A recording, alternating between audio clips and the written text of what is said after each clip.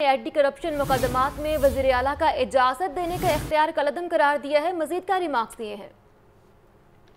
جی بالکل جو ہے وہ آج chief justice Lahore high chief justice of Pakistan Mian Saqib Nisar کی سرپرائز پر مشتمل دو رکنی بینچ جو ہے وہ مختلف اہم نوعیت کے کیسز کے سماعت جو ہے وہ سپریم کورٹ لاہور ڈسٹرکٹ میں کر رہا ہے۔ محکمہ اینٹی کرپشن میں تقرریوں اور تحقیقات میں تاخیر کا معاملہ ہے۔ اس کیس کی سماعت جو ہے وہ چیف جسٹس نے کی ہے۔ سپریم کورٹ نے محکمہ اینٹی کرپشن کے فائل دس کو تاحکم ثانی معطل کرنے کے احکامات جاری کیے ہیں۔ چیف جسٹس آف پاکستان نے دوران سماعت یہ ریمارک دیے کہ یہ کس قسم کا رول ہے جس پر شفاف تحقیقات نہیں ہو سکتی۔